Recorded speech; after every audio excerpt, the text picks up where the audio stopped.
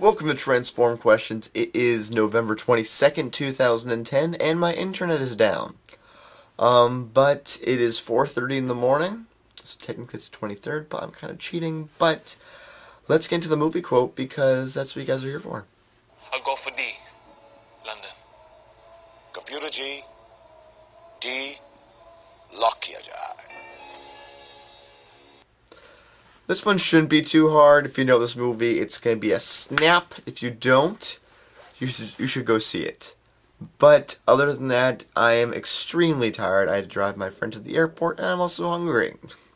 But I hope you guys have a great night, morning, or whenever you guys are watching this. Have a great time. And uh, I'll see you today, but a bit later. Alright, bye-bye.